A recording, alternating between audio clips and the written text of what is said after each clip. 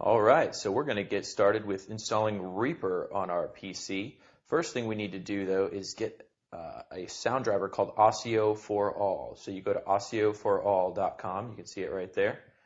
Uh, you can find the link on Jamling, but we're going to click on ASIO for All for English, and we're going to save that to our desktop. Happens pretty quickly. There we are. So we're going to close this. Should be here somewhere. And here we are. So we're going to run the installer on ASIO for all. We'll continue. Uh, we'll accept the terms of the license agreement, as always.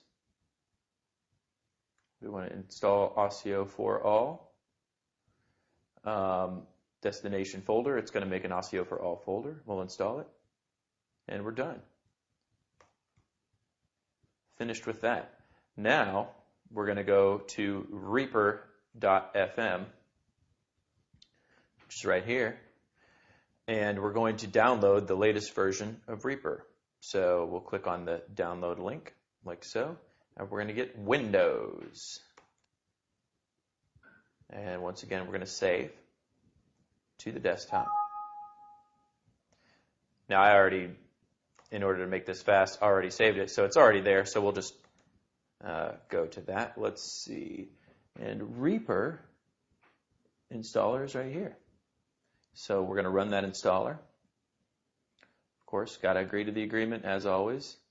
We're going to install everything that it wants us to install, and we're going to run it.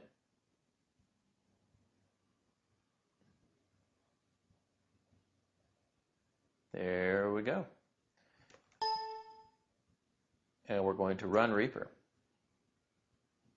And here it is. Now, they have a project that comes up, but we're going to go ahead and close that project. And we're going to open a new project of our own. Okay, so here we are in Reaper, and now all we need to do is enable that ASIO for all so that our latency or the echo is as small as possible. So I'm going to go up over here to this corner where there is all this writing 44100HZ, which stands for Hertz.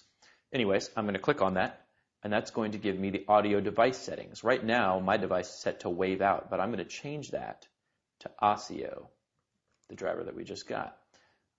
ASIO driver is ASIO for all. Enable inputs. Don't worry about this because they actually are connected. Everything looks good, so now I'm going to press OK. And now I have Reaper set up to record audio with the smallest possible latency on my PC.